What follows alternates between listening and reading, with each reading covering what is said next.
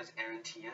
I'm a candidate in the Masters of Pest Management program, and today I'll be talking to you about how to take down a monster. Imagine a dead squirrel in the forest.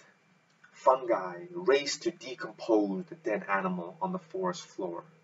They spread by releasing spores up to 30,000 a second.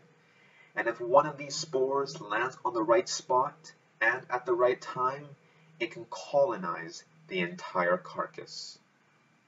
But not all fungi feed on the dead. Days ago, a spore landed on this beetle, and now she's acting strange. A new work of roots have infiltrated her muscles. Her body has been taken over by a lethal fungus called MET. MET floods her body with chemicals drugging her to the point of paralysis. And with just the right amount of light and just the right amount of moisture, Met reveals its gruesome nature. Killing the beetle from the inside out, releasing more spores, infecting more beetles. So why am I telling you this? Well, there are millions of pests all across the world that MET could potentially help control for.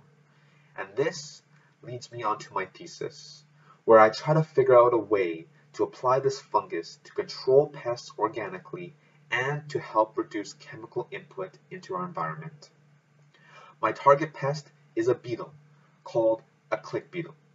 It has a devastating larval stage called a wireworm.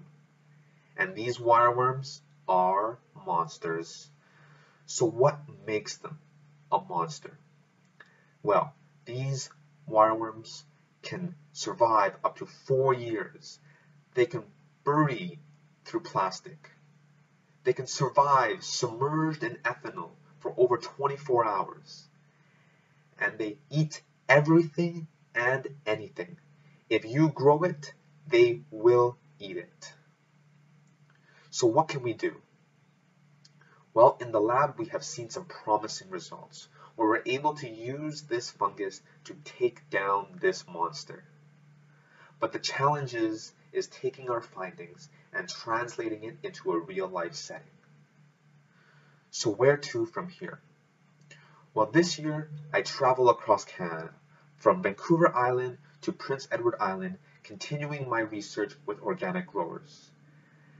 By applying this fungus in the soil where wireworms are living in, we may be able to rescue the dying crops, to slow, to stop, or even reverse the cruel damages these monsters cause.